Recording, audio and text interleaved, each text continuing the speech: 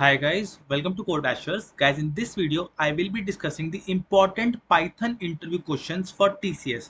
This is again a one-shot video.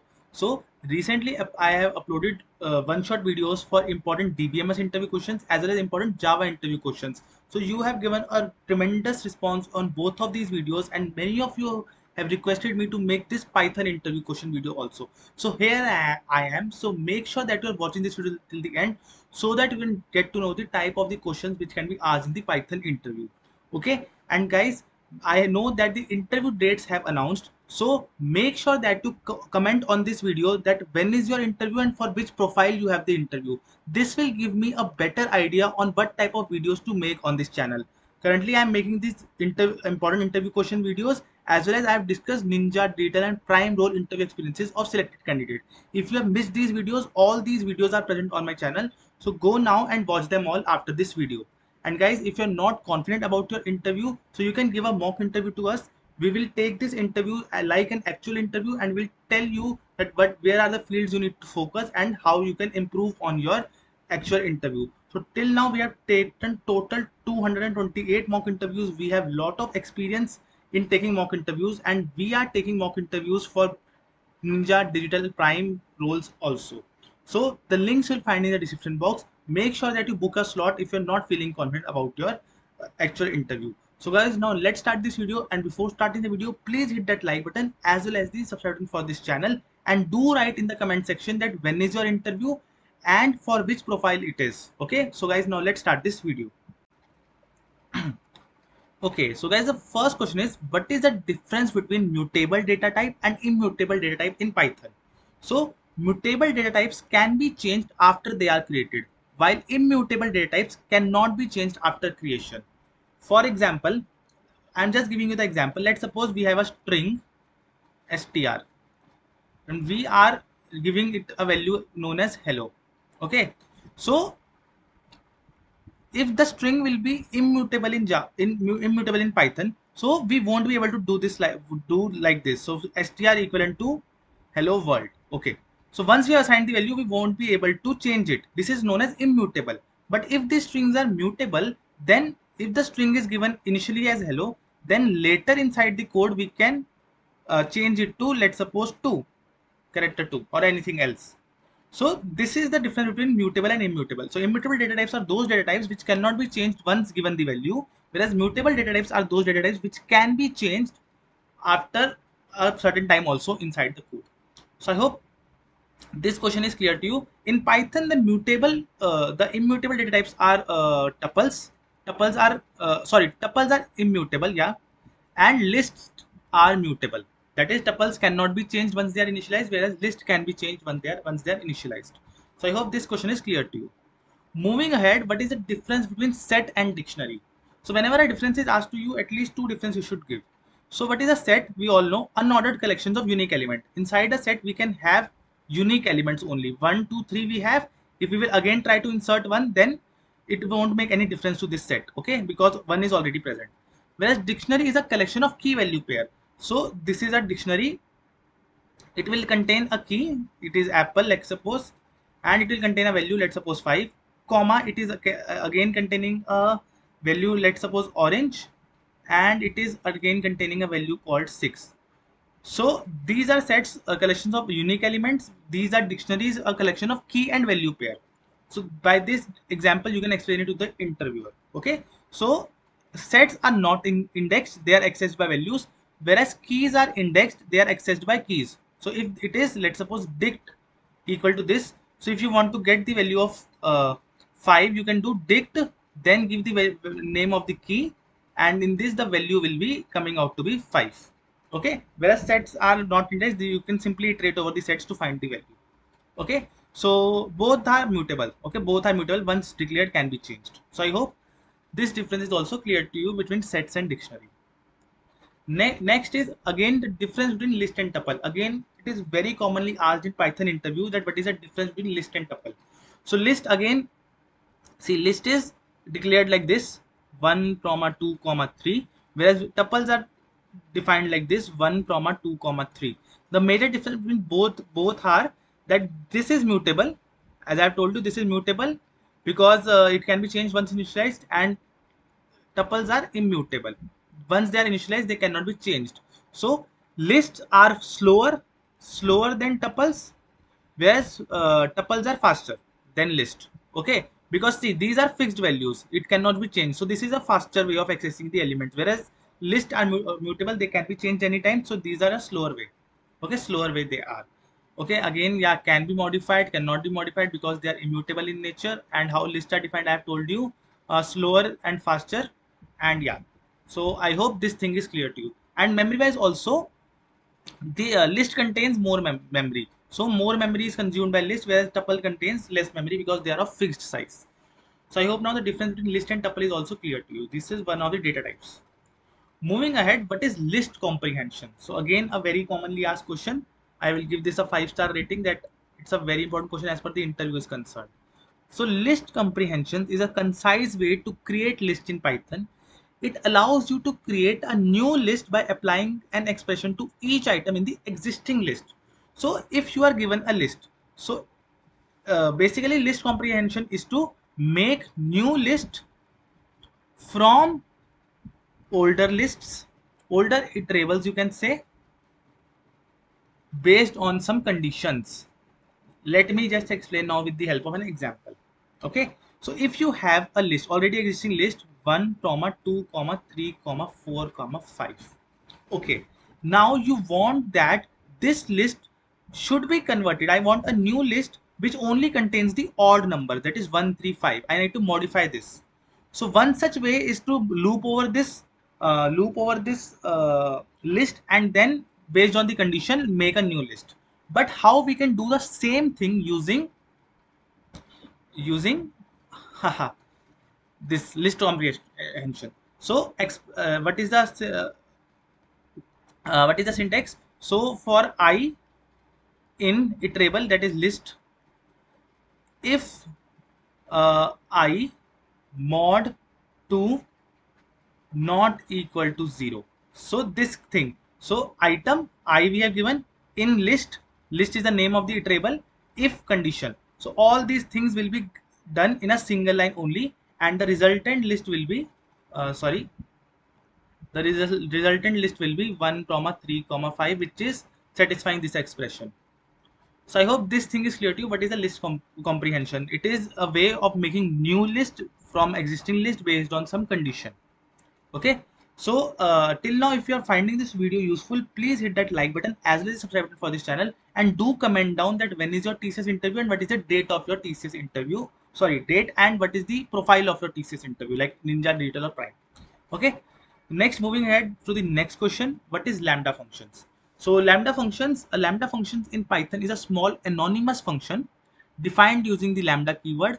It allows you to create a function without a formal name. Lambda function can have any number of arguments, but they can only have one expression. So let's just again understand with the help of an example. Now, how we define a normal function in Python. So if we have a function name add okay so add we will pass a comma b here. We will do indentation and if we have to return we have to return a plus b if we have to return. This is a normal function def. Okay now coming to that what they are lambda functions. So lambda function is similar is that we just do not give the name of the function here. We just give the name of the function here on the left side as a variable. Then we do equal to then we use a keyword called lambda and then we pass the arguments x comma y not in the bracket just x comma y. And based on the colons we decide that what this function will return without using the return statement. So x plus y we will return now if we have to like uh, get addition of 2 comma 3 then what will we do? We will simply call like normal function 2 comma 3 and it will return us 5 so this is how a lambda function is declared based on the lambda keyword based on the arguments and then only one expression it can have that is the return type. x plus y we are returning from here so i hope lambda functions are also clear to you that how what are lambda functions and how we can define them. Moving to the next question how is exception handling done in python? So in normal scenarios in normal things we have try we have catch block we have finally block. Okay this is normally. Now in python similar pattern is follow. We have try block. Instead of catch block we have an except block that we are accepting this exception then there is a finally block. Okay? So what is the use of try block? So in try block we give the expression we uh, call the piece of code which can give us the exception in which exception can occur. In exception block we are catching that particular exception that if this exception occurs then what we need to do? Okay? In finally block irrespective of the fact whether there is an exception or not whether exception block has catched any exception or not this finally block will run whether exception has occurred or not this is general this block is generally used to close connections. For example in try block you have tried to uh, open the database connection open db connection. You have tried to open db connection manually. Now in finally block it will run irrespective of the fact whether there is any exception in the try block or not. In finally block what it will do it uh, we can close the db connection so db.close we can do like this. Okay? We are closing these connections. So finally block is generally used for closing these exceptions so i hope now the exception handling is, is clear to you in python. Now moving ahead to next question. What are args and what are kw args so again see if we have defined a function in python okay let's suppose def hello. And we know that that we are going to pass a list into this function and that list can contain any value okay? List uh, list we will be passing. So we can define here okay a and then based on a is a list we will do certain things based on colons. So we can like uh, use for loop also for iterating this list. Okay now we are saying that here we know that we are passing a list and we are here we are iterating the list. But let's suppose in this scenario let me just change the color of my font. Uh, okay. So in this scenario see in this my function we are not passing the list. We are not passing the list we are just passing the arguments 1 comma 2 comma 3 comma 4 we do not know that how many arguments we will passing in a function okay then we use this args then we use this args one okay that we do not know that how many arguments we will be passing inside the function. Here we knew that, okay, one argument we are passing. But here to use star args, we don't know that how many number of arguments we are passing in this function. So therefore we will uh, pass star args into this function while defining it. And then we will iterate over these arguments. We will simply iterate over these arguments to print them. This is the use of args when we do not know that what are the number of arguments we are sending and the number of uh, and the arguments are in the form of like uh, integers 1 comma 2 comma 3 comma 4 then we can pass it args now coming to kw args again it's similar to uh, args only but instead of numbers 1 2 3 4 we are passing what we are passing we are passing key value pair that name should be alice age should be 30 city should be new york okay so this is how a kw args is done so if we are passing a key value pair, then we will use star star kw args. If we are simply passing the uh, argument as a number, then we can use star args. And again, inside this also, we are iterating over this kw args as a key value pair. So key and value are getting printed. So this is the major difference between this kw args and args. So I hope this question is also clear to you. Moving ahead, explain data types in Python. So majorly there are four data types. List. Okay, list is like this one comma two comma three then is tuple tuple is defined like this 1 comma 2 comma 3 list are mutable tuples are immutable then dictionary also we have seen so dictionary are defined as key comma value pair key comma value pair okay so this is how dictionary defined. And set is also we have seen that these are defined as unique values it contains 1 comma 2 comma 3 if you will try to add 1 also here it won't make any impact to this set. Whereas if we will try to add 1 here it will become like this. So i hope now this data types in python is also clear to you. Only tuples are immutable rest all three things are mutable. That that is they can be changed ahead. Okay so i hope this question is also clear to you. So guys if you are watching this video till here then do hit the like button for this video and subscribe button for this video because it gives us immense motivation for making more such videos. And also we are taking mock interviews for the digital ninja and prime profile. You can book your slot. The links are in the description box. Okay? So now let's continue with the video and do write in the comment section that when is your interview and for which profile you are giving the interview. Next question is what is the difference between x range and range function? So range creates a list of numbers in memory. So if we will do like this. So range 1 comma 2 will oh, 1 comma 4 we will tell. So it will give us a list of 1 comma 2 comma 3 comma 4 so this will it will return as a list here. It will return as a list. Whereas X range generates number on the fly, saving memory and improving performance. okay so x range is used for um uh, generates number on the fly thing. Okay so i will give you the links for both range and x range to study more about the difference but major majorly difference is this only. Okay so i hope this question is also clear to you next question is what is slicing in python again a very important concept so let's suppose we have a string string in python known as uh, code now we want to extract only last three things. Last two numbers we need to extract. So what we'll do, we will do the uh, string name is str, str equivalent to code it is. We need to extract last two characters. So what we'll do, we will do str, then we will do string slicing. String slicing, I will, uh, what we will do, we will take we will take the starting index of the uh, character that we want to include. So starting index of the character that we want to include is 2 then we'll go colon then we will give the ending ending uh, index. Ending index plus 1 ending index plus 1 what is the ending index here? It is 3 3 plus 1 4 so 2 comma 4 once we will give we will get a return of de last two characters de we have returned. Now this index is inclusive. See from this index second index we want our string to start. Okay? But the second index that is the fourth index it is exclusive. This is the last index but exclusive of the last index. So last index was 3, E index was 3, but we have given last index plus 1. So it is non-inclusive. So it is inclusive, it is non-inclusive. So this is what a string, uh, this is what a slicing is. This slicing can be applied to list also. So if you see my list is 1, comma 2, comma 3, comma 4, comma 5 and extract the element from index 1, 2, 3. 1, 2, 3 index we have to include. So from 2, uh, 3 is exclusive so 2 and 3 we want 2 and 3 we want so starting index we have given 1 and end index is here 2 but we are given 2 plus 1 that is third index so that first and second index can be included. So last index will always remain exclusive. So therefore we have done like this. Now extract the elements from index 0 to 4 exclusive with a step of 2 that is 0 to 4 means 0 to 4 exclusive means that 4 is not included. This is not included. We want the elements from this index to this index and in a step of 2 that is only 1 and 3 we want. So what we'll do?